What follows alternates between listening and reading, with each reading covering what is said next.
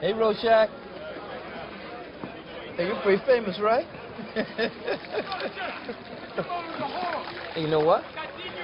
I'm pretty famous too. Ain't that right? That's right. That's right. You know, maybe I can give you an autograph, huh? What you say, big boy?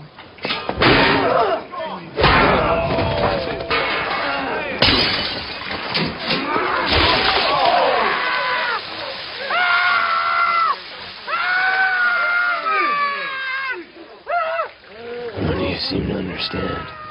I'm not locked in here with you. That's it! You're locked in here with me!